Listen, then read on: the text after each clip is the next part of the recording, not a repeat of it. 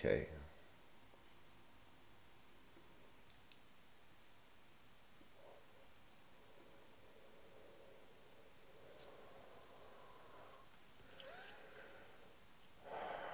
Okay.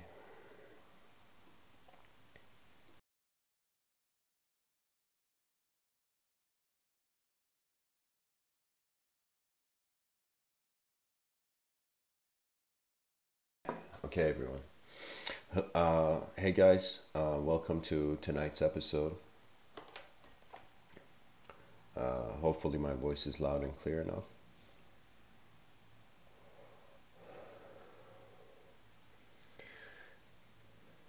Finding the heart's rose beyond the mind's thorns.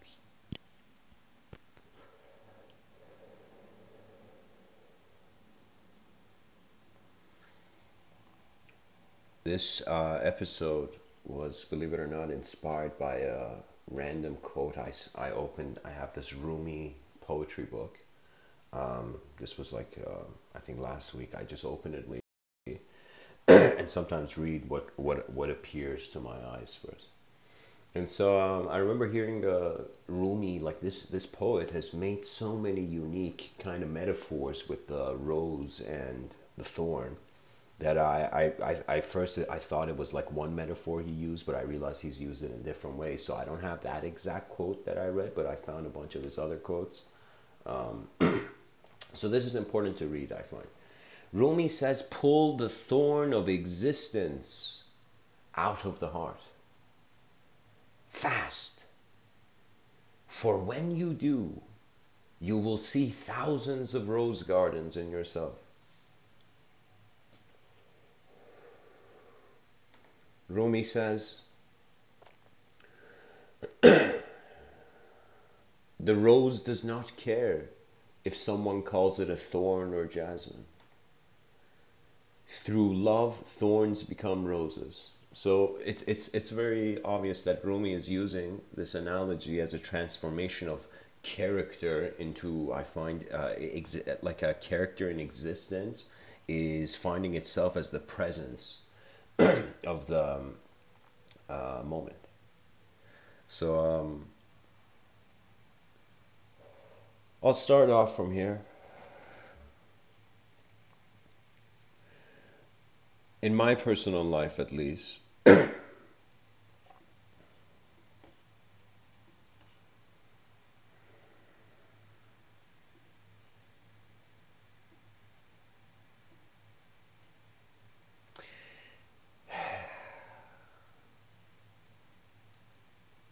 that I've been listening to my, I've been expecting the external, uh, the world in front of my eyes to adjust to my to the world behind my eyes, the world the world I see in front of my eyes, uh, for it to adjust to the world behind my eyes.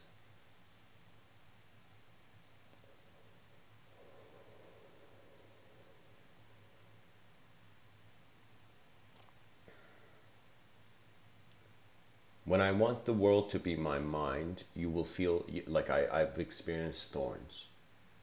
When I, in some sense, allow my mind to be the world, uh, that's when the mind feels like a rose. And this thing that Rumi says is that sometimes we get so caught up in a certain viewpoint, a point of reference to ourselves, that we stop referring or having access to different versions of ourselves. now, the self is a very important concept. It's a unique concept. Con- uh, concept. I find as this concept gains motion, its context changes. That means um, uh, if you're running and I ask you who you are, you'll have a different sense.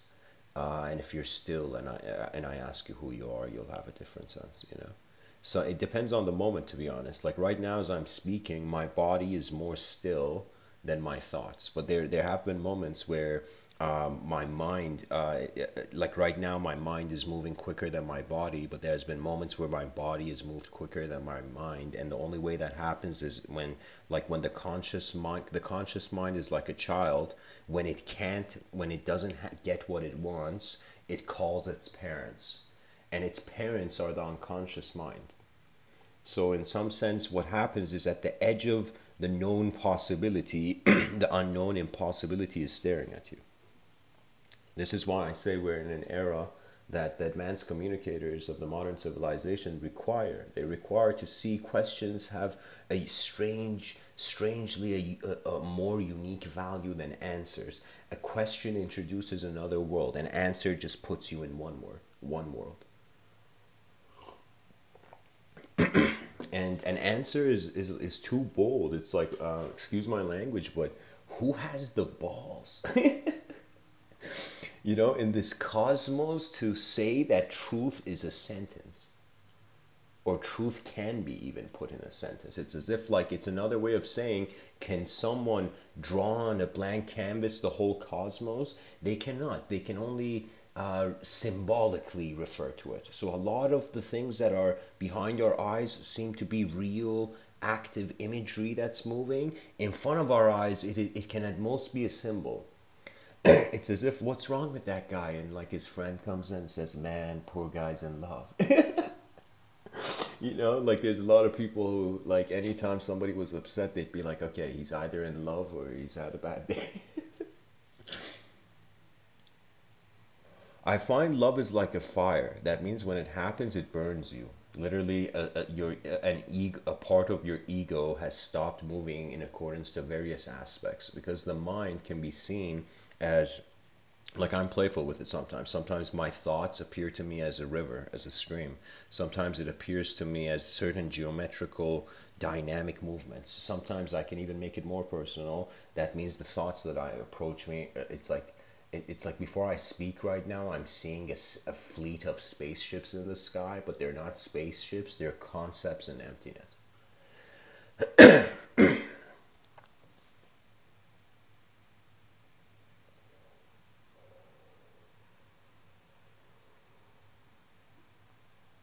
human beings are creatures of balance when we when you understand this something profound happens balance means desire and fear are secondary. that means first find your balance, then like try to kick. Like you know, like a martial artist has to have balance. You have to have a certainty that your left foot can maintain the movement as you, let's say, for example, kick. You know, something.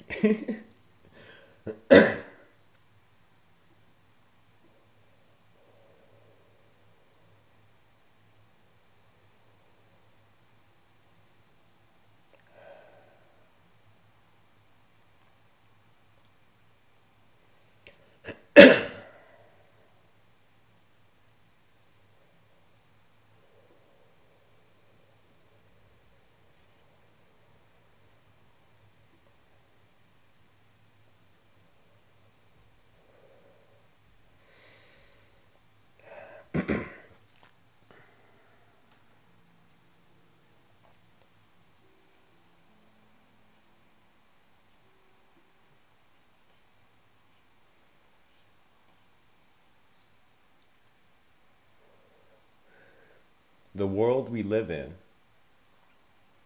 if we assume it is alive, we have to listen to it. You have to listen to the laws of nature. You have to listen to where you your ecosystem. Your ecosystem is as much as a part of your mind as your mind is a part of the ecosystem. Human beings, I find, are right now in a, in a sort of phase where we have to learn from action. That means it's it, it'd be nice, you know, like um, that philosophers could speak all day, but at some point the philosopher realizes the value of action because certain conceptual thoughts, they don't, it's like unless you do an action, the depth of the concept doesn't extend. that means choices must be made, and as choices are made are, are being made, the uh, the moment's experience is specializing. It is being more narrowed down into a sort of subjective limit that means it's kind of like our impression of what the world is in one moment is the container that is holding this uh, valve of experience where the water is pouring endlessly you know? It's it's i playfully sometimes say it's like trying to catch a uh, the, uh, the waterfall. It's as if somebody takes a cup under a waterfall and the wa- cup gets full and they take the cup away and they feel they've captured the whole waterfall you know it's as if you have you have captured a certain aspect of it. So when i think about what i know as a person as a human being i realize that it's kind of like i have taken a certain range of data that means as I'm speaking to you right now, there's certain things I've seen. Literally, it's as if my eyes were open in existence and existence started dancing in front of me. But it started dancing in ways where I was also part of the dance, where as the child psychology develops, what is it, like after the age of 12 or 14, the child is ready to be itself to some degree. It hasn't even found itself, but it's ready to be itself.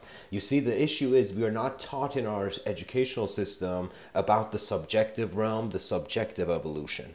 You know, I, I feel um, I, I, I didn't hear anybody speak about the subjective evolution. It was something that like I asked, like I noticed. It's it's kind of like you, you looking at the rear wind, rear window. Um, um, you kind of looking at your let's say right blind spot you know, as you're driving and noticing, oh my God, you were about to turn right into a highway lane where another car was also moving into that lane. so it means it's a sudden, sudden thing you notice about the design. Now, the thing is, I noticed something very important. If I ask you right now, is it important to give freedom to the world?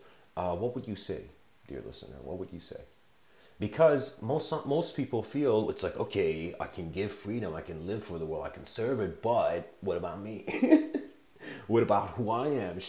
Shouldn't I be the king of my own kingdom? And if my kingdom is wealthy, then I give. You know, most people are thinking like this. They're waiting to reach the self to get perfected, and then the world has an opportunity to get perfected. But I realize this is going to take unnecessary time because it, it, it can never happen in some sense it's kind of a strange design this human existence. We're kind of like thrown into a world as a sort of temporary creature but this temporary creature all its inspirations and visions are towards continuity and eternity. That means it's fine. You cannot like so many people you ask them what, what do you think of the concept of eternity? Um, they have no like they it's not real for them. And it's okay. It shouldn't be. It's not like one thought should be real to all people. It doesn't make sense we all have so many different DNAs, kind of like how George Patton uh, has this quote where he says, if everybody is thinking the same, then nobody's thinking. what that means is is like there's there's an opportunity cost to agreement and there's an opportunity cost to disagreement. Um, when I was younger, like you know years ago, you know, uh, I had an intense sort of there was a weird kind of veil veil of my own thoughts separating me from the world. That means my the opinions as a, as a child i had formulated on myself were not able were not ones where it's, it was as if i had accepted the suffering self but the self that didn't need to suffer was not real for me yet you know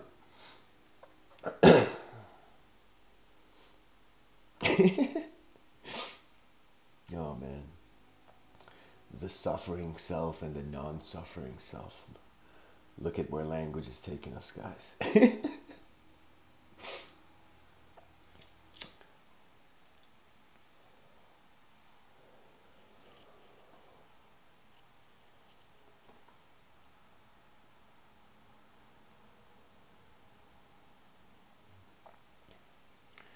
There's been moments where I have um, how can I tell you? Every verb in the dictionary, I feel like, in some sense, I've experienced movement as a creature to such a degree where the movement doesn't overwhelm.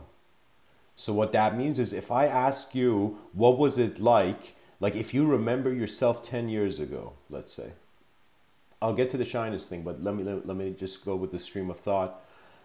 if you remember yourself 10 years ago, your biological constitution is totally different and your ideological, subjective constitution is all, also different. That means who you were 10 years ago, you don't have the same body, you don't have the same ideas. Even if you think you have the same ideas, you can't because experience expands all ideology. You cannot experience something new without the overall structure of the world changing. Kind of like it's kind of dropping like uh, adding water to a cup. It changes the volume of the cup, you know? So it's as if the overall has been more seen, so more data has more waves of data has hit you as a human being, so you're more, uh, let's say, refined in your vision. That means you could still have the same beliefs as 10 years ago, but you don't, it's like you're not the same self looking at those beliefs. So that means beliefs can remain the same, but the person is not the same. This is why they have to believe and have faith. Faith is literally like another way of saying concentrate. concentrate on what is real for you. You know? And believe it or not, what is real for us is where our attention goes. that means concentration. You, you, you understanding as a human being that the world is standing under your attention you won't understand like when you reach that moment when you realize your attention is here first then whatever is in your attention it's an insta uh, what i like to say an insta liberation insta dash liberation. You know let me tell you why. Because you are realizing one way of enlightening is that external change gives you the evidence that you've changed or internal change now, what happens in enlightenment is that usually the person who has objective desires, you can say spirituality, spirituality, those people who feel they're on a spiritual mission, like it's it's commendable. They are they are more peaceful and uh, more in tune with the universe than others, but still, it's kind of like you you wanted certain objective things you realized you couldn't get them so now you want certain subjective things. This is why there is what's happening in the new age community is literally like belief hopping. People are hopping from one belief to another belief never wondering who they were while life was happening. So how do you find out who you are? Well i find it has to do with the lights you see yourself in. You know how we have this expression it's like that person was in such a um, how would you say it? It's like I looked at that situation in a different light. You know, you know how we have that? It's literally it literally means attention has no past when it looks at something. So right now I can look at any object. If I consider the past and future to be present generations, this object has no name. Literally, the present moment doesn't need an explanation, doesn't need the subjective imposition of an, uh, it doesn't need additional uh, subsensory data, which I consider to be um, symbolism. Like the, the like when a child learns that language, like those symbols are actually images. You don't understand. A lot of life is just being aware of how the experience is happening. Now, you can't contain it in language. What that means is it, it moves beyond the language threshold. The language threshold, uh, in case you're a new listener, I'm going to tell you it's a concept I've developed where I say uh, it's literally you have an experience that you, it can't be put into words because either the words have not been invented or it is beyond the dimensional, beyond the dualistic framework. Okay, anything that goes beyond duality, it's unspeakable. That means you can't define the infinite and you can't define the empty. We can we choose them as negations of their symbols, but like we can approach it that way. but what it is is that man's attention is tunneling through various ways that manifestation is changing, right? So I want you to see that it's kind of like we are uh, journeying through moments. You can say a person who wakes up like, what is life in a day? It's a series of uh, moments you know or you you can be like you know old school and feel it's all just one moment. Doesn't get more old school than the here and now you know?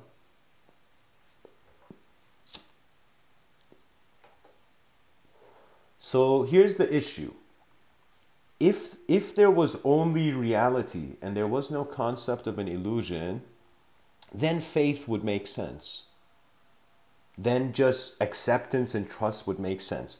But because our values as a civilization, as people, is an imposed subjective value in, in the world. So, what I mean by that is the world was happening in a, ver- in, a, in a version of itself, then man, the human being kind of popped out, you know, the, the Homo sapien kind of found its stage.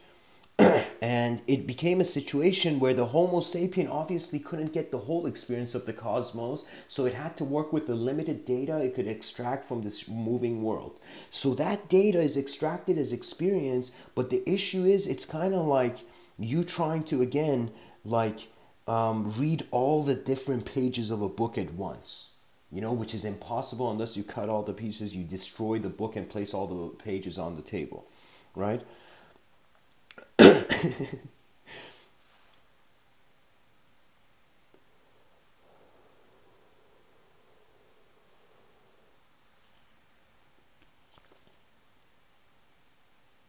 so what I'm saying is due to our limitations, we cannot be 100% sure of the limitless ever.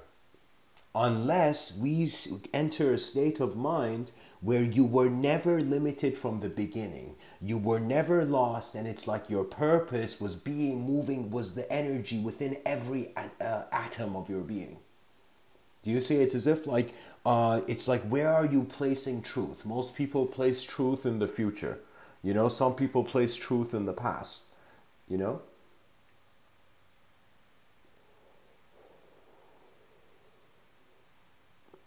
And some people don't need to place truth. They are. They are their moment.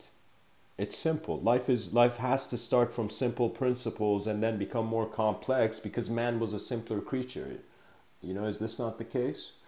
It's as if the the thorn evolved into the rose. You know? What it means is that literally you as a being, I want you to imagine the sun is hitting you right now and you have a shadow. Now you can choose to look at the sun. When you look at the sun, it's it'll be at some point kind of like the infinite meaninglessness.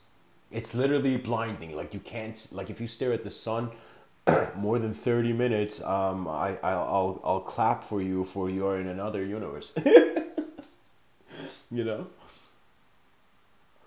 There are yogis. There, there were yogis in India where the dude didn't eat. The dude didn't. The dude didn't even go to the bathroom. The dude would just stare at the sun for like ten minutes every day, and in doing so, of course, I, I don't know how the dude wasn't blind, but like, but it was it was one of those situations where it's as if the trust in any structure activates and if your structure, your personal reality sees the blind stop, blind spots of external reality, it doesn't mean you have to be suddenly uh, uh, accept external. It, it's more valuable that you do something new in this world than just to make your ancestors happy by repeating what was real to them. You know, it's like I honor my ancestors, but I don't listen to them that strictly.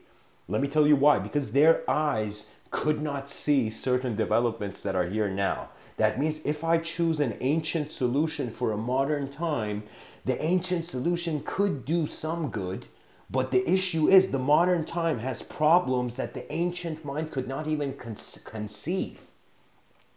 Do you see? I mean, we've had certain people who've made predictions.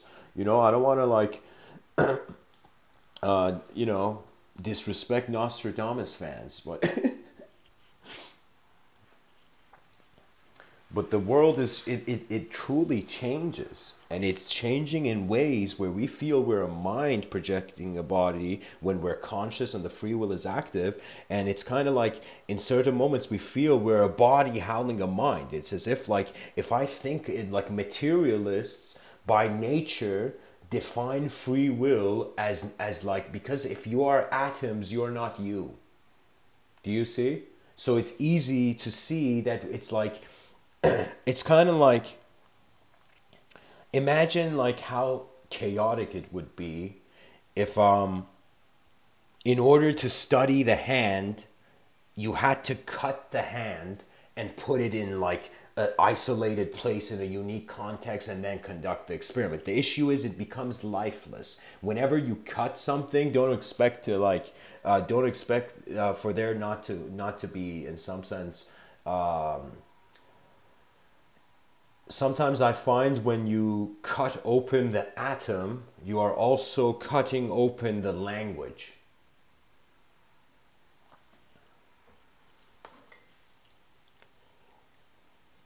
That means science is a method, or you can say is like the tool, the spear in the hand of hand of the hunter gatherer. But whatever the hunter gatherer finds, the hunter hunter finds, it has to bring it back to the tribe. And when it brings it back to the tribe, the, the ethos, the collective inspiration of the minds in that environment, okay, uh, how they embrace the concept is very different. Because it's very fascinating, guys. Just, just, just go and check it out. It's a, it's a, it's literally like uh, on this planet. It's like Halloween every day. You know, we're, we're dressed up in ideology, though, not, not like uh, costumes we're clothed in in our in our own beliefs. How, how ridiculous is that?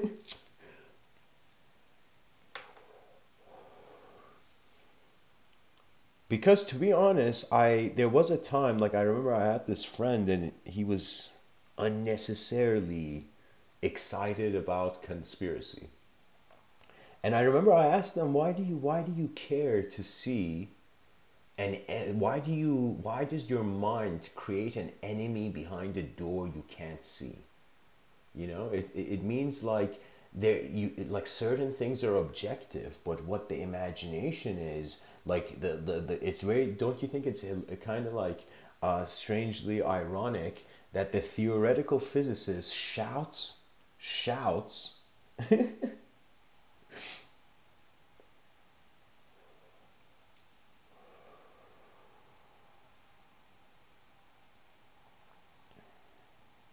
The theoretical physicist shouts at the imagination of what it considers to be an inferior mind only to realize uh, the next day the theoretical physics physicist goes to work it has to wonder it has to visualize. You see the thing about imagination and reality is is that to be honest reality it's laws of nature not all of it is in your free will okay? Imagination. How much of, of your imagination is in your free will? And i will tell you don't think your your whole imagination is just being created by your brain. I'm telling you that is that is not that is not um, it's not wrong. It's just it's not the best model. Like for, sometimes i'm not trying to change the world that's happening now. I'm just trying to say okay something's happening like this. What if it could happen that way you know instead of we we fight the past we have to create new dimensions where the future is standing with a different past. So it's kind of like if humanity is thinking of evolution like think of the evolution chart and it's like a direct line like um, uh, forward like a linear line a linear arrow forward time. Now i want you to imagine in every a line is a series of dots. So imagine in every dot there is a horizontal line. It's as if we become more interested about the parallel uh, reality rather than the future linear reality. And what that means is pretty much behind your eyes, you're seeing many versions of the moment. You don't realize this. You know, because it, you might have either pushed it into the unconscious or your consciousness is identifying with certain with a certain shape. You know, it's as if every person's moment of experience is literally like a paintbrush with unique colors of paint on it. Okay? That means there's only two things that man has ever only been able to do in existence either express or receive. And as expression and reception maximize that you you you literally experience a moment where you give everything that's expression. And you receive a moment where you receive everything. And then you realize the game you realize the value system, the polarities in every moment, the good and bad, constantly making you reconsider values. How does man return to nature when he is nature? You know, I find that the yogis have been saying the same thing. Every human being, pretty much all advice is one thing. And I find that's to remember the self. You know? How many times in movies or whatever you see people like the kid doesn't know what to do and it's like, what should I do? And the person's like, just remember yourself, be yourself, you know? so Western society values the self.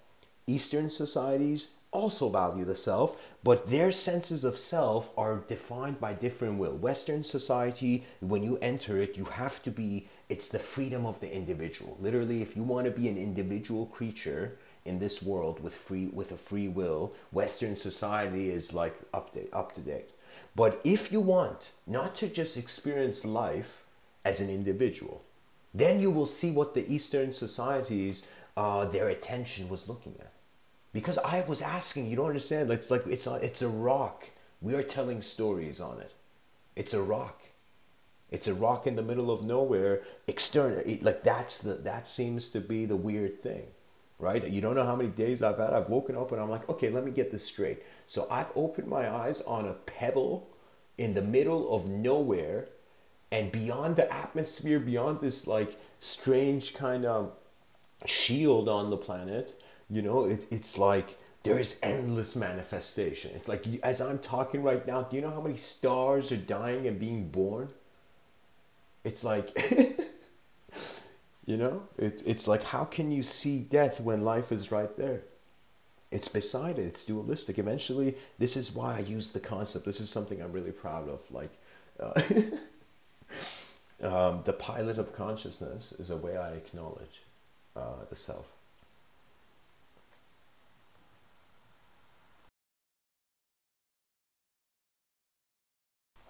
Pretty much the school of thought that I um, I tend to evoke is one that I feel consciousness has a value. The ego is a technology; it also has a value. But you see, in life, people either have to extremely just trust themselves, just just only their attention. Like the guy wakes up is only obsessed with himself, you know. And it could be for a good effort. Who knows? You know, I'm not I'm not judging the consequence because I can't see that far. You know but uh, I'm saying some people, it's like they, it's like they have, they've had an obsession with themselves since childhood. It's literally been like they didn't get hugged enough. you know, there should literally be hugging booths. You know.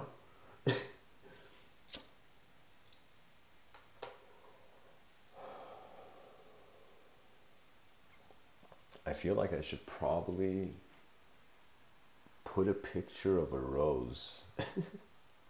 uh, up here. So just hold on, guys.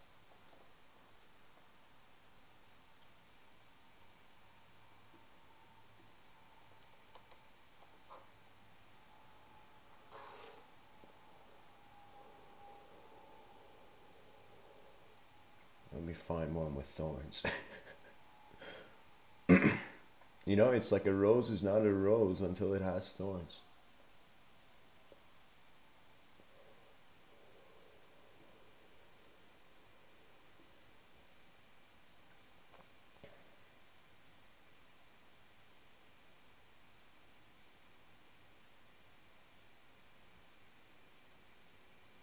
Okay. Here. This one calls to me. Sorry guys, I'm just I'm just getting a picture. I'm gonna put it on the screen, uh, and then I'll uh, get back to this. Just hold on. Okay, I'll, I'll talk as I do this. Um, the pilots of consciousness it was it was a concept which it, it was so indirectly it was one of those things where um like if i if i okay here i'll say it short. I had a dream. In the dream i hear a word. Um, that word eventually i ask some people and someone brings forth the concept of a pilot to me. Now at this point i, I haven't reached the sort of depth that i'm kind of sharing now. Uh, at this point, it's literally for me kind of like a preference list. Just go with the program of uh, the behind the scenes of your mind kind of thing. Like like I never kind of had too much of an opinion on intuition. Intuition for me was something that the moments I needed it, it appeared the moments that I didn't need it, it wasn't something to care. Like it was, it's like life. Life is not. Life did not put you on Earth, so your attention is always on somewhere else outside of Earth. The reason I say that we have to pilot our consciousness and even build schools of advanced communication, which I playfully say the School of Athens 2.0 is literally all human beings in different environments literally just just just having the decency to just out of their own wonder uh, create groups where in these groups people sit down and they're like, okay, how do you see life? Okay, how do you see life? And eventually, the inner designs eventually are, come come to the table. Do you know? And then what happens is it's like the ancient Greeks had such a incredible relationship with language. If like in certain historic contexts, people back in the day they spoke in verse. They spoke in verse because they were life had a rhythm for them. Speech was the newest technology. It was like the the new iphone. It's like somebody who would say something. It's like uh, oration. You don't understand um, the ancient greeks uh, they understood the language was the uh, language came from the logos what that means is they they knew that known phenomena was the movement of unknown phenomena. They, they, they innately knew that, and there was an honor there. You see, no great lineage can continue if there if honor and remembrance aren't taught. That means you it's like something you don't care for. It leaves your world. Uh, it just eventually leaves your world. Your attention's not on it. the unique situation is that um, uh, I don't like the idea worshiping, the language worshiping that's going on in civilization because this language worshiping eventually because all the beings want to all, all human beings kind of want to comprehend the nature of their moment at least or find some sort of uh, satisfactory relationship with this living world you know? How would i say it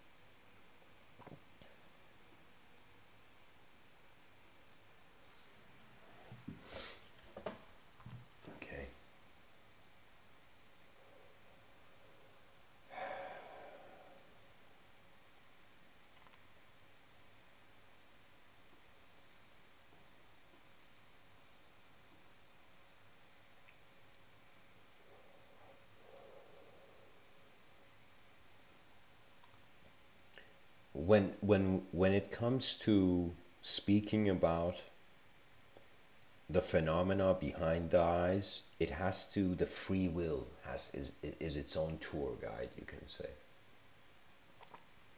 So for me, I'm kind of like, let's assume everybody on this planet attained the highest intellectual position. And let's imagine, let's imagine everybody had like thousands of PhDs, you know. eventually it would reach a point that there is no point keeping in circulation something that doesn't evolve. You see, evolution is the greatest value of reality. We all want, it's like you can't hold on to the past, you know?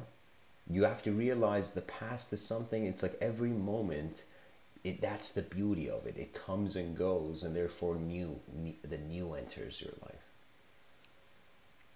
So the thing is that you feel you may feel like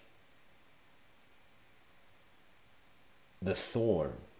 Your attention could go on your shadow rather than the light that is causing your shadow. But the thing is, nature is doing its thing, and whether we like it or not, something happens. I don't know how to tell you. This may be for some people not enough of an explanation, but for me, it's as it's this simple that I see nature move, and nature is moving before I do, before any thought I have. There's just this silent, still observer of the moment. And then it's like once you see the life in the world, you also see it in yourself.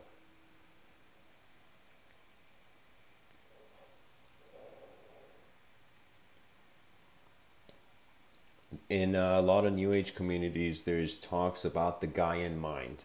The gaian mind is the um, gaia is the ancient greek word for earth and it's it's it's a sort of return to the sort of feminine sensitivity of the of the planet okay that means we redis rediscover the creative uh, spirit in its requirement for gentleness. So let me tell you what evolution uh, kind of led to.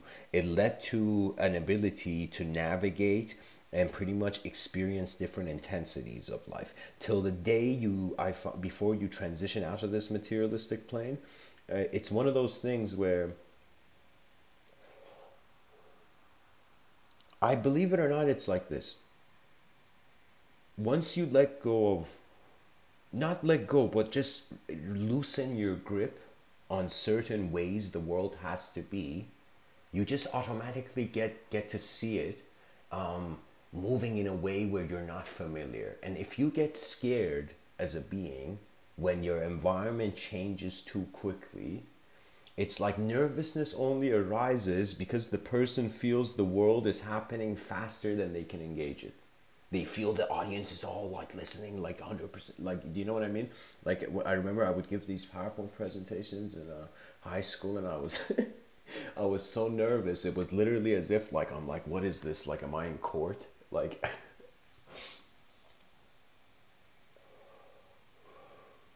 my mind uh, didn't know itself it didn't know that it, it the free will was here so the will of others was directing me you know it's um uh, for some time.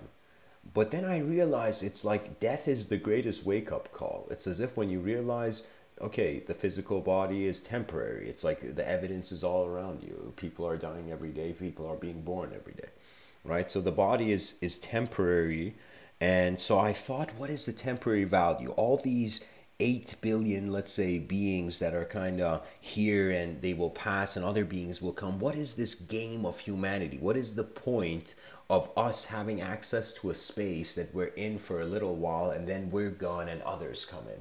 Right. So that when I thought about that, I'm like, okay, so it's not about like just telling people don't don't litter it's as if you got you got to find a story where that you don't even have to say it. Some things you don't have to mention. It's as if it's implied by the importance of the attention to where this civilization is going. That means it's as if like you once you get ma- uh, get past your own suffering you'll be like oh the world is suffering. I can get rid you know? It becomes it's as if like it's it's the it's it's why we have empathy because we see others and when we see others it's as if we are seeing how our mind is making them and how they are making themselves you know? Because if you feel you know everything about someone i'm telling you, you your excitement goes away. The moment you feel you know something right it's as if like the wonder goes the unknown goes. It's as if you feel in that moment you explain the unknown. But i find that the superior wisdom is to realize the unknown never goes away it's just that we aren't we don't know how to be content with it, so we constantly try to escape into modes of thought. Now, here comes the unique argument because I'm talking about an inner environment, people could say, "Hey man, the mind's not here just to kind of we pilot our attention to the beyond. Maybe the mind is just here to attend to the survival, objective survival. It's like let's keep let's keep the philosophical uh, envisionment in in the just the material but I'm telling you, even if we do that, it will lead. It literally, there will come a moment where it's another way of saying we're getting bored on being on this rock. So eventually, pilots will be born. Literally, a wave of children will be born who they, they, they care about the sky more than the earth. So what I'm saying is Elon Musk speaks about being uh, the planet becoming an inter like uh, humanity becoming an interstellar civilization. That means we're go out there in the stars, as he says. Um, so what that means is we're, you're gonna need pilots, don't want, won't want you? and so what the pilot is doing, he's uh, I'm using the metaphor that the pilot is navigating a physical plane of existence just the same responsibility. I'm saying that if we had the same responsibility that a pilot has when he's flying a plane and everybody's there, your life would uniquely be in a. How can I tell you? It's like there is nothing greater than a complete landing. I can tell you this. And with inner reality and ideology, the same archetype can apply because we have free will we have like that's the update. If you if you don't care about how free you are as a being that means you literally don't care about your evolution. You know it's as if there was a time where we couldn't even have the brain capacity to to even wonder uh, about our freedom. Do you know? So in some sense you can't blame history because it's nature's decision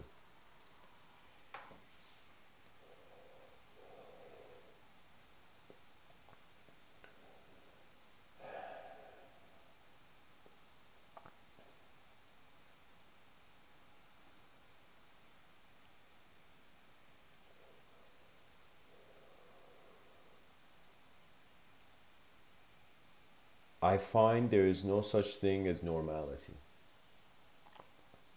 I mean, I can acknowledge like okay, certain behaviors are have been more, more are are more in the proximity of our awareness, but there is no such thing as normality because first of all we are not uh, even the same we, none of us have the same exact dna to even all of us see the same normality but it's also that even if there was a norm that norm is constantly updating. That means what is normal now years ago wasn't normal.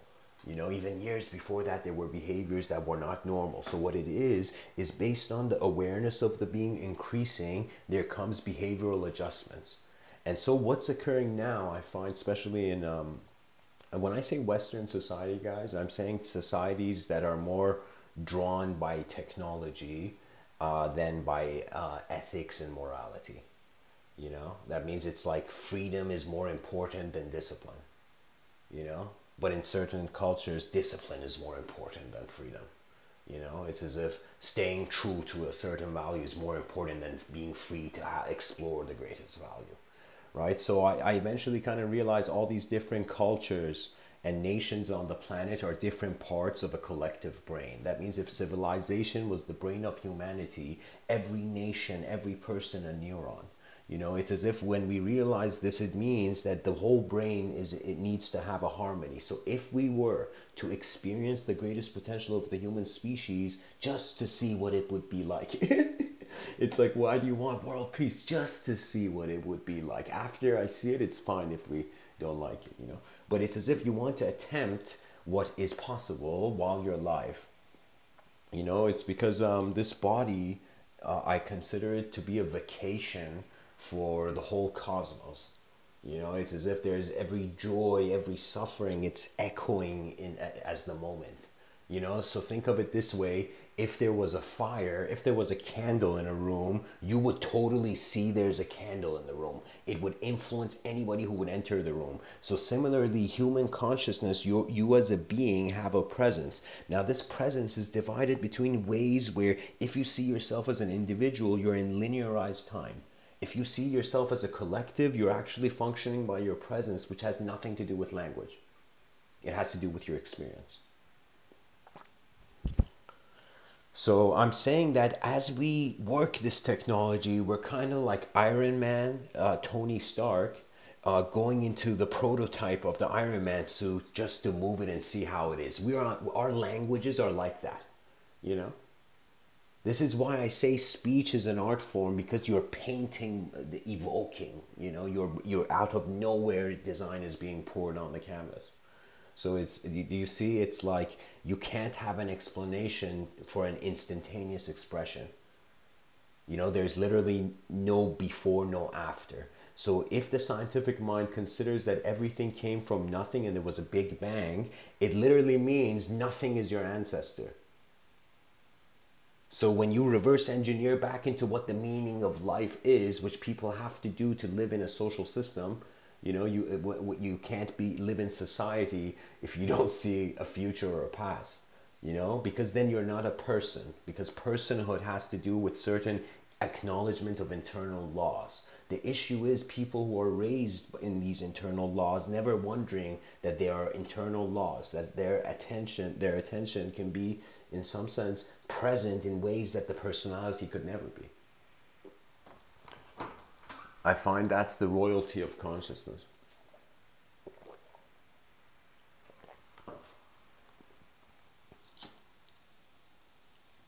The king that realized, the king that wanted a kingdom where every every member of the kingdom was wearing a crown. So what it means is it's kind of like it's kind of cool. It's kind of like based on your um, what's the word?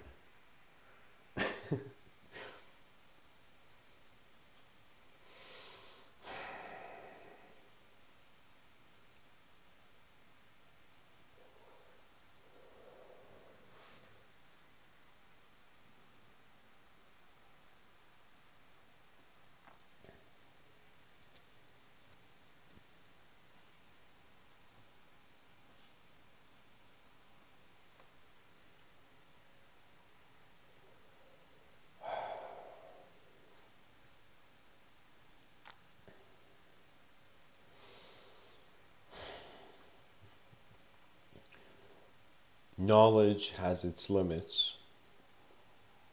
the unknown will become at some point un- uninterpretable. Attention will be left to how much free will wants to move it and how much, if it doesn't move, the divine will is moving. So anytime you feel you're not here, you'll feel as if a strange oneness with the cosmos anytime the personality, attention to the subjective self leaves. Okay? And there's always gaps. It's as if you can say everybody's enlightened in deep sleep. it's like it's like it doesn't get better. It doesn't get more uh, um, visual than that. There's this remarkable poet named Rumi, who, um, which I introduced to you at the beginning of this talk. Rumi says he has this like next level quote. I, I find it one of them like I I how can I tell you I have I have witnessed enough um, beautiful architecture of sentences that I could totally see a museum of language. I could totally see a museum of the greatest paragraphs or sentences or whatever, you know. You know, I uh, hopefully one day I'll have the resources to bring that about. But the thing is, like,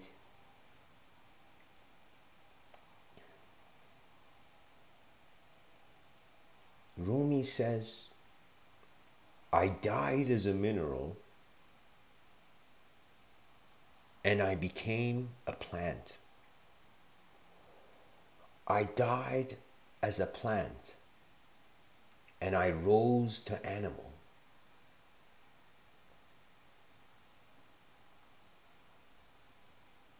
He says, uh, sorry, it's just, just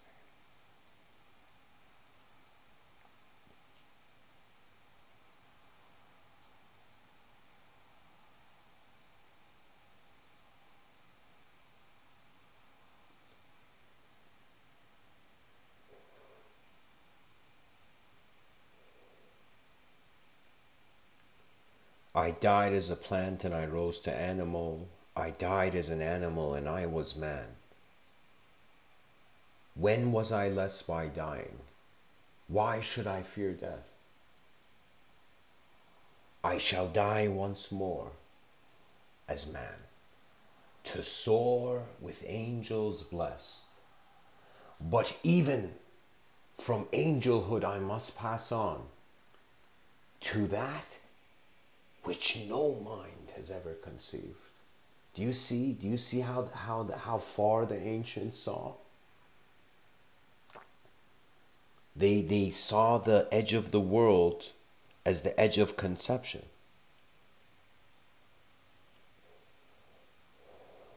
That means evolution will move towards the inconceivable. The inconceivable, at least to our subjective self, is the realm of experience.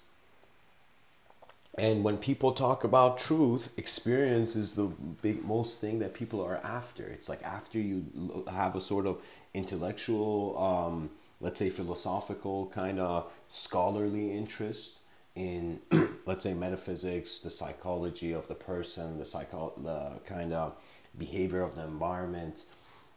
You know, you paying attention to etymology, ontology,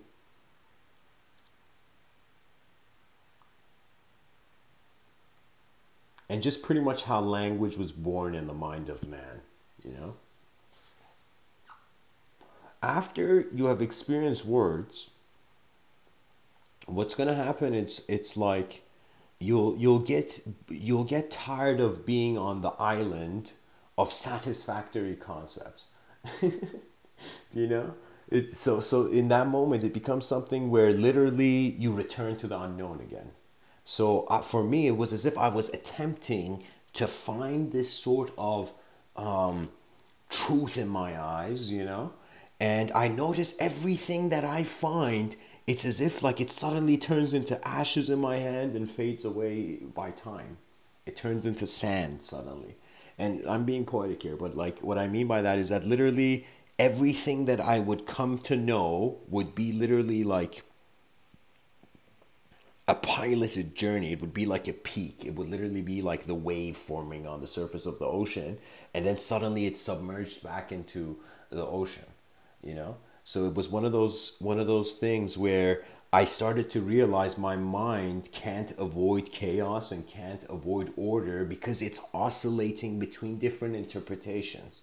That means I, I personally, like, I, I'm not a neurologist, but I'll, I'll tell you this that I find that uh, uh, uh the left brain hemisphere uh, is has acknowledged reality as empty.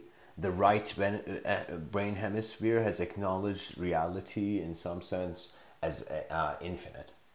So we're oscillating between the known and the unknown. The known is leading you towards emptiness, like you realizing, okay, let's see um, what the cup looks like that's, uh, you know, holding the drink of this world, you know?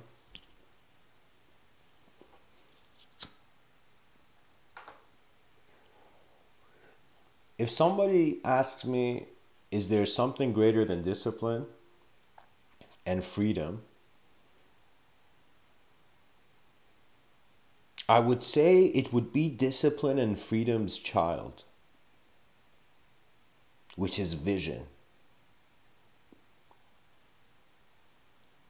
The word vision means now. And the word now means all the faculties of your intelligence that are active in the moment.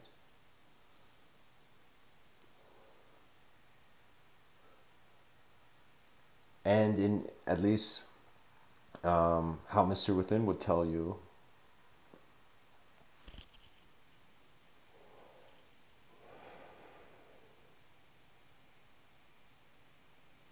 I'll tell you that you can get as much enlightened from stillness and silence. Um, you can get as much enlightened from uh, movement and noise as from stillness and silence. It doesn't matter if you wonder about the world in, in a chaotic moment or an ordered moment. Anytime there is self awareness, it's a strange moment because literally you are looking at yourself you know so right now you have an ability to look at objects like look around you see all the stuff you see you know that's accessible to your um, sensory vision. Now you'll also notice that if if you wanted to pay attention to yourself you'll realize it, it brings you immediately to stillness because you want to see what's here so you're kind of like holding things still to see what's here right? The mind is taking that approach so, in that stillness, eventually, if that stillness is preserved, you just abide by your natural stillness, then you will come to a natural silence. Now, something unique happens. If you're in that natural silence, uh, silent observance for a while, uh, what happens is thoughts don't, it's like your obsessions leave. The desire and the fear don't exist anymore. You realize it is a sort of, um, it's a reaction Okay, desire and fear are quick movements. It's as if they're both, uh, one is instantly grabbing, the other is instantly running away. You know, fear makes you run away, desire makes you, uh, one takes, one in some sense, uh, in a sense, kind of like runs away.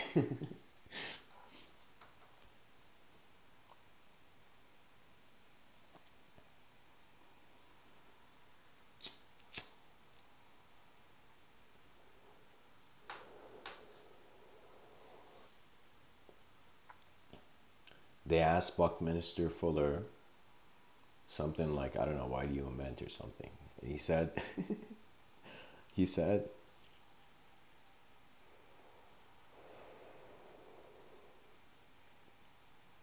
I create inventions. Like this dude was just inventing stuff endlessly, just following his kind of playful universe and just just landing creative uh, vision you know? Buckminster fuller is like for me he's a saint of design. He's one of the great uh, designers of this planet you know? He says i just create inventions until one day the need for them arises. The need for them arises what that means is the greatest thing man can do, he will never know its consequence because it is for the eyes of its, uh, you know, children's children's children to the power of infinity. or to the power of wherever infinity ends.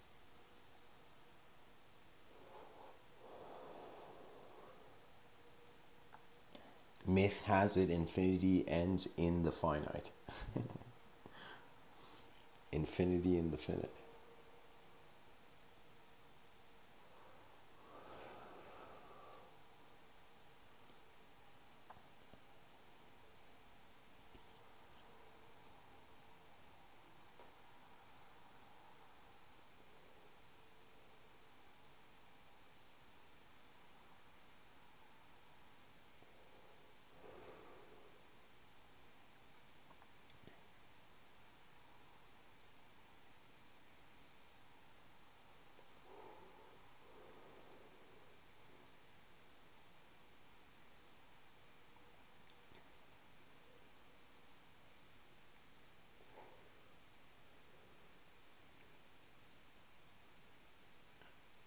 What is love but the horizon's vision expanding? You see, it's as if when you care for people's minds, you'll understand how important it is to use the mind. So, what that means is treat your mind as a sword and shield. That means your mind has an ability to enter any moment. It can be thrown in any situation, whatever chaos, whatever order. And in that moment, it can shield itself. You see, the past is a shield. It's it's very crucial. Some people think like even uh, like it, life is very strange in the sense that you can speak about one thing in many different concept contexts, or you can speak in one context about many different concepts. You know, but um, what I'm trying to say is it's so important to come to peace, come to a sort of contentment with your past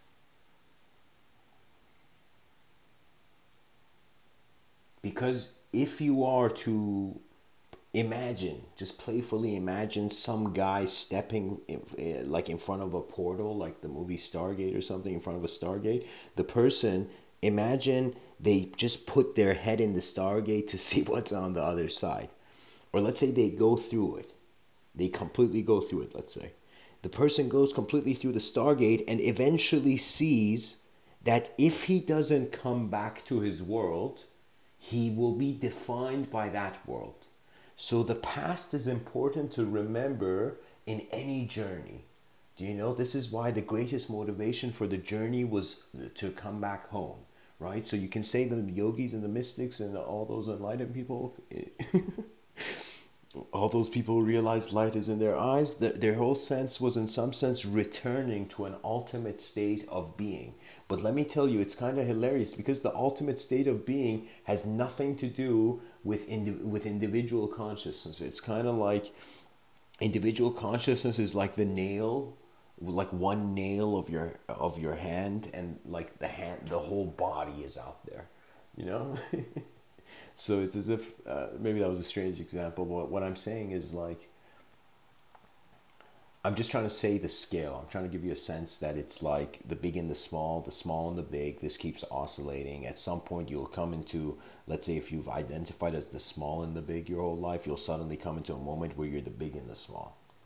You know, life tends to um, shift you because what the unique thing is is we are all acknowledging we're an energetic expression of intelligence. Energetic means at least like even though we might not know like there you can't kind of put the soul on it on the table, you know, but it's one of those things where the the energy is here. We can all acknowledge energy. Like if somebody denies energy, then I, I don't know what other word I can use, you know. so let's say we're an energetic expression, like nobody can doubt energy. Like there there's some power source to, to, to this intelligence of ours. Okay, now we conclude that the power source is from the body, and we are strange, uh, we are kind of a strange design of nature because we have to go get our survival. Our survival doesn't come to us. We, it's literally because we are individual creatures, we have to adjust to the world because we're the small and the big. But the, the mind, when it becomes the big and big and the small, this means the un, that your all your knowledge is in, in the unknown you know because a person who feels they know what life means it's kind of like it's kind of saying like by looking at uh, one tree, you've seen all trees. You know, it's a uh, there's a there's a vastness, but as a mind, how would I say it? Let me see. Oh, here, Meister Eckhart, this Christian mystic, um, uh, Gnostic from a thousand years ago, he has this quote where he says, um, I, I feel the exact date is like a thousand years, but um, he says, The same eyes that I see God are the same eyes God sees me. That prime moment of indifference, because the psychology has instantly found its roots in, in through a sort of conscious reverse engineering, and it's it's pretty much means it's like the root of the complex uh, branches of knowledge. It comes down to a sort of uh, singularity of the trunk, and then as it goes into the soil, it's rooted in a totally different uh, scale. That means I've, I've considered not only pa- parallel realities to the self subjectively, but I've also considered a sort of mul- du- uh, multidimensionality where it's like the symmetrical opposite of myself in a parallel reality, you know? So it's as if in, in every moment you, you kind of don't have an opinion on the chaos and order. So you see the chaos and order for what they are, not for, for what you want them to be. Do you see?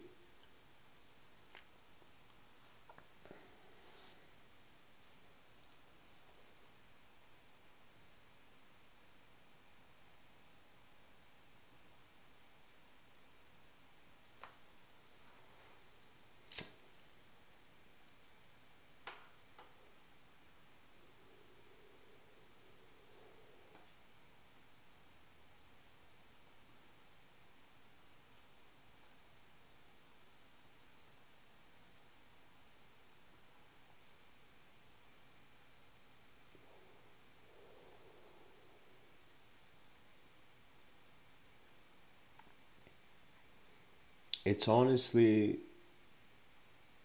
a mode of self expression. That means the mind, it, we, we may not see its pure source, which is unknown, but we, may, we do see how it attempts at, at, at continuity. The educational system if it does not, it's kind of like strange. The political system and the educational system, they update slower than the students and the citizens.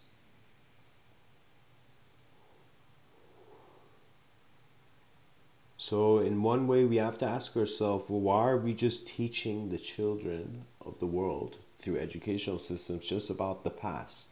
That means I find schools should literally be like um, like unique bunkers where literally human beings enter schools to try to conceptually um, uh, unravel certain global problems. You know, I find the greatest thing that can happen to like how the educational system can evolve. First of all, it's like all these politicians saying we don't want the our kid you know our kids to be on in the streets. Well guess what? The kids are in the streets is because there's something more valuable out there than the school. So that means it's like teachers are a problem that's one thing but teachers are as much of a problem as the curriculum they're forced to teach. That means it's it's like believe it or not that uh, for certain teachers i find in educational systems it's it's strangely like how a citizen would feel in a theocracy but it's uh, like a similar kind of weight on the on, on the teacher's mind in the educational system you know?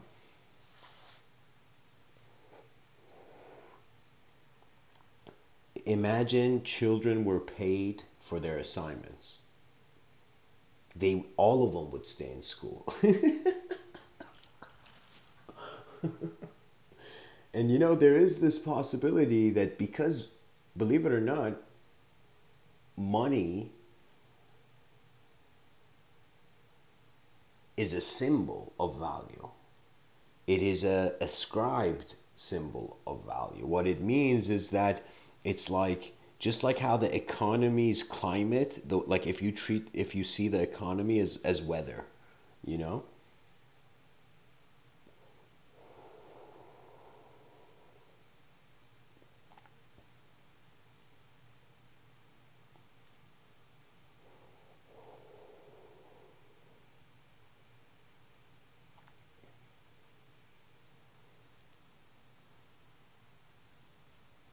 It's kind of like you either change with change or change changes you.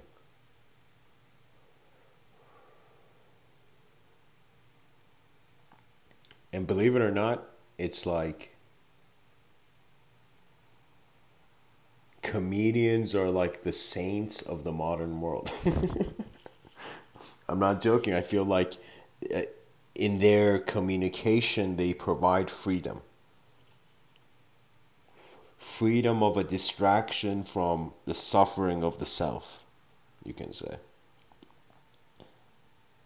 I find it's it's much more cooler if we see the efficient possibility than the inefficient one. That means it's like okay, it's it's it's it's the easiest thing to set the world on fire. Did you know? But it's also the easy is not worth doing. So it's like it's it, they say like a building takes many years to build, but it can be demolished in a day. So we can all 8 billion creatures on this planet stop caring for the world. Like they, that could happen, you know? We could just ignore it. You know, I got so fascinated when I had a dream where in the dream I could consciously move. And I've said this before that it was like I woke up and I realized my mind was living a life while my body was asleep, pretty much. I was living in the as a as a character in my mind in the world of my mind uh, when I was dreaming. When I was able to consciously move in that dream. So the the the fact that we are conscious in the dream state and we wake up and we're conscious the, uh, uh, of the dream in the waking state is a suggestion that there is a witnessing sort of uh, other. That means it's like three dimensional, but we don't see the third dimension, you know?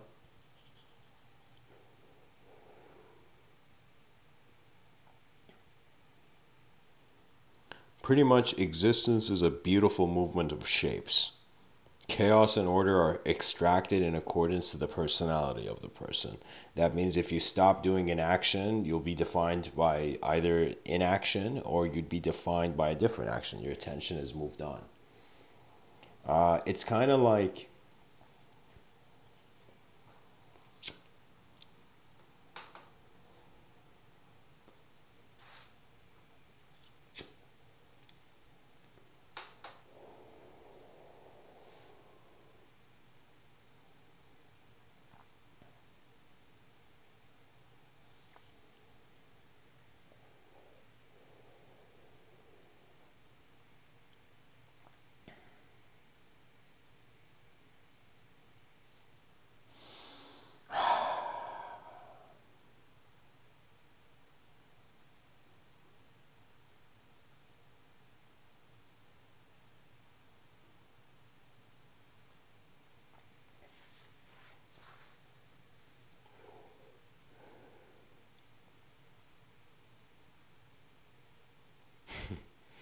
Sorry, guys. Um,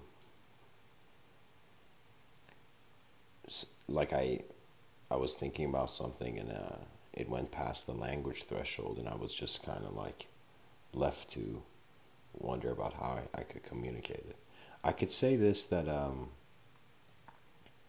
think of it this way: you your survival depends on how how well you study your environment so let's say the survival of your, your mind, of your subjective self, has to do with how much you study the inner environment. Now, the inner environment is kind of like this. When you close your eyes, what do you see? You see it's like you, it's this black, black, like you know, there's no light, like the eye, eye is closed.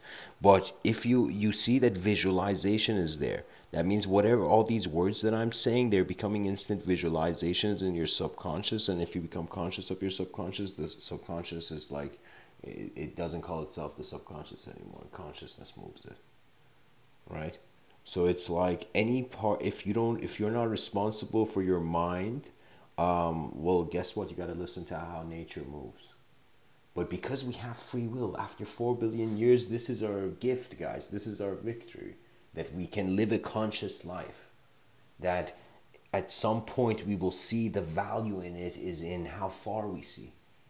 And it's another way of saying, kind of Henry David Thoreau said, it's not what you're looking at that matters, it's what you see.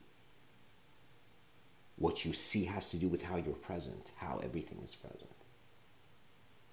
So as one closes their eyes, you know, just as I'm saying these words, believe it or not, it's like after some point there's no image. I like I don't need image to speak. It's like this subcon subtle subconscious knowing. It's as if you're you kind of like. I'll, I'll give you an example. Um, when I was um, young, uh, how old was I? I think 11, 12. Um, we like my family would go on these long cottage like our cottage was like hours away from the city in Iran so we would I would be in the car with just this Rubik's cube in my hand and I remember I would play around with it and eventually I got to a point where it was kind of like certain things that I realized worked were like accessible patterns. Uh, you know, like when you do so, try to solve a Rubik's cube for the first time, what's occurring is you're trying to find patterns that work, and uh, you suddenly like you like I got it was very easy for me to build two thirds of it, but then the top became very complex, and I, I remember I would constantly rebuild uh, Uh, up to the two layers and eventually like i would kind of notice those four corner pieces of the top it were kind of like incredibly complex. I could literally not figure out the pattern. And eventually like one day like i saw like this piece of paper that had algorithms of how to solve the rubik's cube like in a magazine or something you know and it was it was that was like oh okay let's see what these algorithms are. And i tried them. I tried it a couple times and I, I noticed it's like the person who had written the algorithms hadn't even done a good job of explaining them. You know in the sense that you should think about those last corner four pieces as if you're doing a lot of a lot of moves a lot of a lot of repetitive moves just to change the sides you know so it was kind of like you're trying to create your own algorithm eventually get to a point where it becomes so complex that you don't have to reinvent the wheel you go see what others have done you know and so it became one of those things where it was like uh, I the algorithm was the wheel I found. Yeah, I didn't need to re- reinvent it. And so I remember I got to a, to a point where I eventually memorized the algorithms, and I could just solve it. It was it became easy once you figure it out, you know. And uh, so so I memorized these algorithms, and at first I needed the paper in front of me, and I would copy the algorithm, you know. But eventually after I it, it, it was committed to memory, it became like I didn't even think. I would just stare at this Rubik's cube, and my hands had this kind of like strange muscle memory. So it was like a trust in the muscle memory. So I eventually for, forgot the patterns, but anytime the Rubik's cube was in my hand, I knew that my I, my hands had the muscle memory of just like the long hours and those drives where I would constantly try to do this right? Like because it was it, it bugged me that it was like something. It was like the Rubik's cube was taunting me. You know what I mean? that was my rebellion against the Rubik's cube. You know.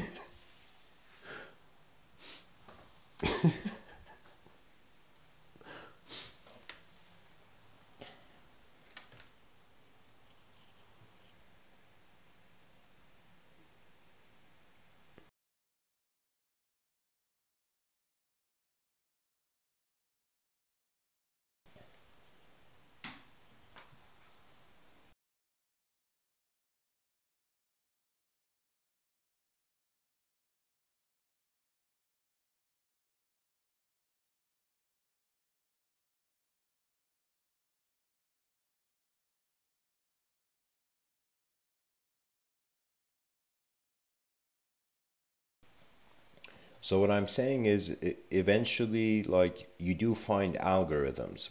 If if you saw mysticism, enlightenment as a Rubik's cube, I find the algorithm. You you eventually listen to your intuition, synchronicities, all that, uh, and but you eventually come to a round circle. So I'm telling you, all those people who actually they wear spiritual concepts as themselves like in your personal reality it's fine but the collective reality's effort is one where it's like of course you can like you know there's in in the new age community there are people who speak about angels for example people who speak about you know different things you know? But but the thing is it's like the intensity of how you approach that idea is also as important as what the idea is. You could say it's even more important what that means is it's like you're holding a cup of hot tea in your hand and you're going up the stairs okay? If you don't care and just go with your uh, you know just go with the you know like if you are ignorant of the design then the design becomes turbulent. Then you spill tea on, on you know the stairs of your house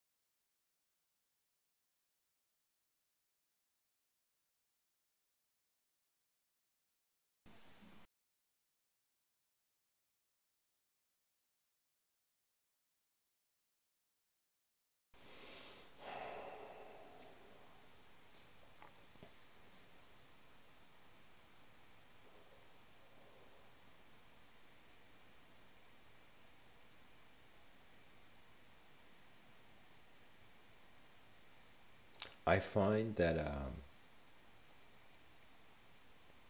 every moment harbors a genius design. The whole notion of multidimensionality and other dimensions and other worlds is another way of saying how this world can extend.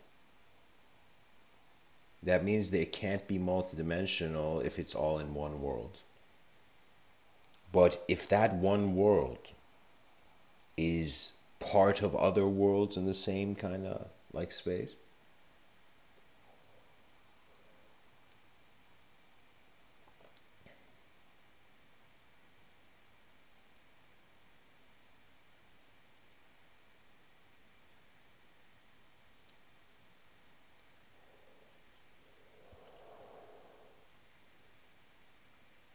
It's kind of like you can say existence is the question of asking who planted design in space. I'm, I've written uh, like it's not completed, but it's like I'm um, it's, it's still unpublished, but it's this book I'm going to give out soon. It's called God Likes Spheres, and um, I'm kind of in my own, uh, I guess, uh, way uh, questioning why spheres, why spheres, you know, and um, it's not as easy to have an answer to certain things that are linked with the unknown. That means we can't see that far. So it's kind of like the only thing that man can do is see what tools are accessible and then just advance. Advancement requires trust, or another way of it saying it is faith. And faith, uh, another way of saying faith is concentration. Literally, the attention is in um, is not forgetting a design. Um, behind your eyes, you are uh. How can I say it? You're the life of in front of your eyes. Once you come to peace with this, you accept your moment, and it's simple. It's like that moment where the thorn, okay, it's a thorn. You look at the rose, okay, it's a rose. And it's present. So the presence of life becomes something you can't discriminate against. So what that means is it's kind of like the greatest conqueror suddenly realizing it can't conquer time. Time is the great conqueror, conquers everything, you know, and just goes forth. So, in some sense, the conqueror realizes because it can't conquer, it still wants to find the resolution. So the psychology realizes, okay, what you can't change to some degree, what, what, what else can you do? You accept. And the worst thing to do is being somewhere and not wanting to be there because then you don't care to pay, pay attention to that environment you're existing in. You know, this is why if you don't love your job, it's dangerous to do the, your job. You know, literally, like it's like your care, your value of care for the activity is not there. You know what I mean? Because you want to be somewhere else, right? Attention is something that um, they should have university lectures on. it's like, you know, I'm still waiting for neurologists, you know, get on stage and explain the mystery of our attention. The mysteries.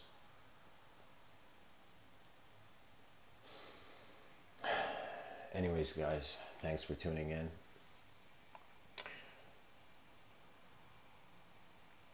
I feel this wouldn't be a Mr. Talk if I didn't share a story, you know, like a,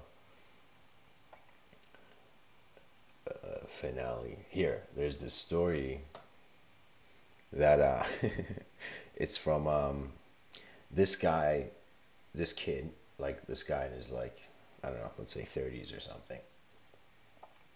He hears that there's this um, uh, enlightened sage this enlightened guy that lives like you know you know um, away from where most of the town was. And so anyways he finds a location and he goes and he's he's like this guy who authentically wants to know. It's like okay back in the day when someone was enlightened it was like okay this guy knows some has data i don't you know. You can say it was like the best google result a google search result at that time to wonder about what is all this you know uh, to go to find the sage, you know. and so, anyways, this guy goes and he sees there's this kind of like very peaceful kind of guy just in a meditation position, like on a mat or somewhere, like on his porch. And he's just sitting there peacefully, quiet. And he walks up and he's like, okay, okay, what should I say to this guy? and then he goes there and he's very polite the, the guy and politely says like kind sir i've heard that you're enlightened. Can, can you please tell me what's up you know? And there's no response. This guy is silent. This guy it's as if it's as if this guy this kid doesn't even know what this guy's voice is like you know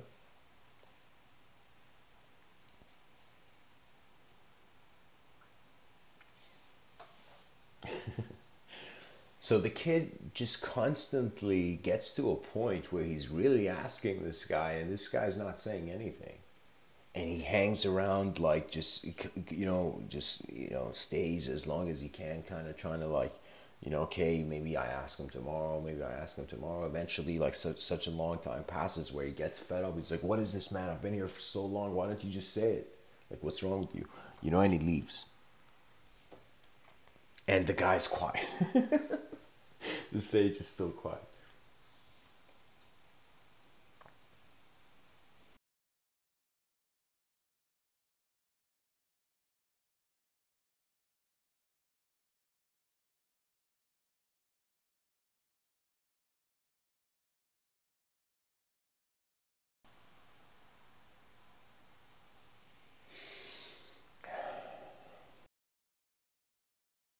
The kid leaves and he's really angry and he says he's kind of like says it let's say rudely or whatever. He's like he's like what is this? You know and he leaves. And the kid as he's kind of going back you know going back home you know he suddenly gets this feeling. He's like oh shit. I still want to know. It's like what what what, what, what, you know what else can I, like you know he feels he has to go back and he's like, oh, and he's like, I was too rude, you know, how can I go back now? And he realized the guy doesn't speak, so he's like, okay, it's okay. and he goes back, you know, and he goes back and um, he's, he, it's a very sincere moment. It's as if he's surrendered his question and he's just simply returned, going there as himself, you know. And he goes there and he goes and by the sage and sits down like the sage sits down beside him like the sage. And the sage sees him and for the first time like smiles and speaks and says this important sentence why this ceaseless coming and going why this ceaseless coming and going why this endless from the moment you wake up your attention is being jumping from thought to thought to thought to in some sense why this ceaseless coming and going in some sense why is data being processed by this biomechanism, let's say. Self awareness is the evolution. And self awareness is right now, as I'm speaking, we as creatures in civilization, we're, um, we've reached uh, to the point of language. And there is much more. There's much more than us identifying as linguistic creatures. Now the issue is how how does the collective change? How does the whole system change? And the thing is like we really again as I said earlier like you can't change it. You have to add a dimension. So what that means is it's like if you want to change the world, you're being rude to at least some some someone's ancestor, you know? So you know it's it, it's it, we have to wonder about collective value, collective value, and at least we have as a civilization come up with the Human Declaration of um, the Universal Human Declaration of Rights, or uh, I'm saying it wrong. the Declaration of Human Rights, you know. So what that means is we're acknowledging certain values. That means like our appearances could be different, but our freedoms are the same. And this is so crucial because it's external freedom is internal freedom somebody who who has to fight every day never gets it's like the warrior who has to be on the battlefield every day never gets to see what kind of uh, painting he would draw if he had a paintbrush. You see you see the situation? You we can't get obsessed over one storyline of a destiny of our lives.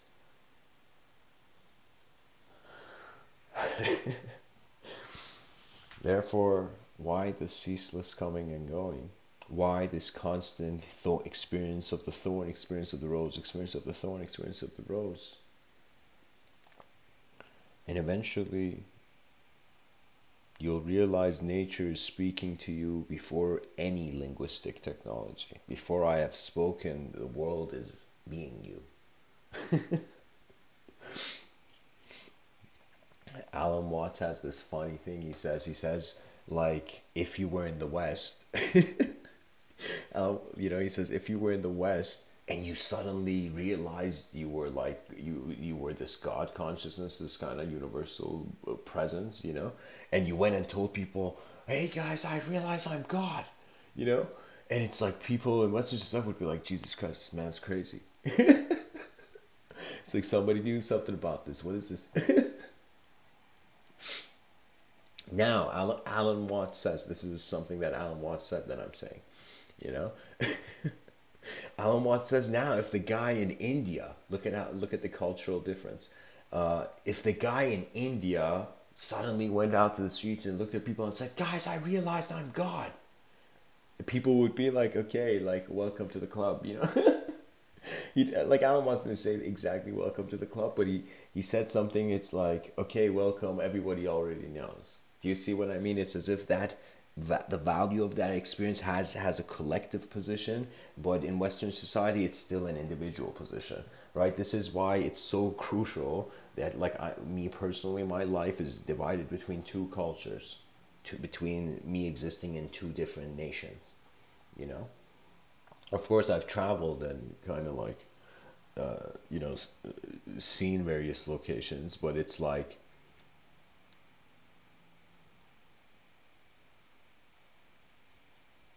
whether it's China or Italy, whether it's France or Russia, whether it's whatever word we give to a of land with an identity. The moments, if you prioritize your moment of being, you will care for uh, efficient vision. I find it comes down to that find the efficient, efficient vision of your moment.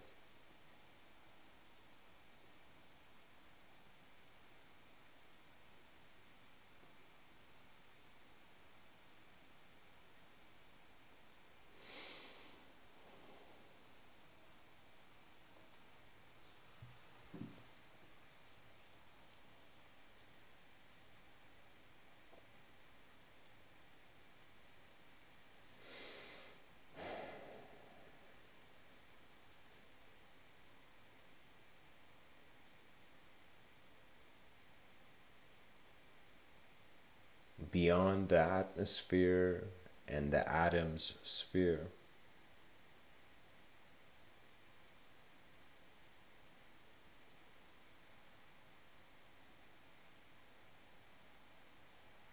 The value of the moment is defined by a expressive freedom.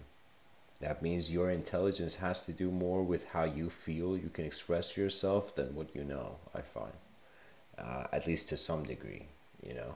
Uh, of course, data is important. Data is kind of like what all of us are busy with as a species. People watch TV, people, you know, are online. It's as if we're like kind of like these, these, um, like these evolutionary apes, you know, that uh, used to hold bananas. Now we hold iPhones it's so fascinating. The change is so va- it's such it's such on a vast, unfathomable scale that of course our evolution feels mysterious.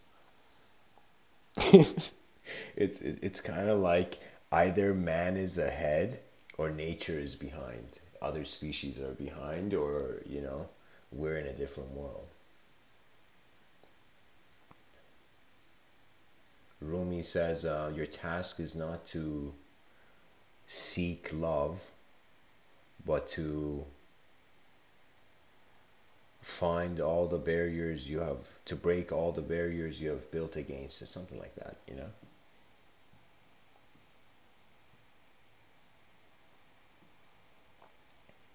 The self is a story of a lifetime. It's pretty much the video game of language when we try to contemplate the self or any sort of, you know, knowledge, you can say.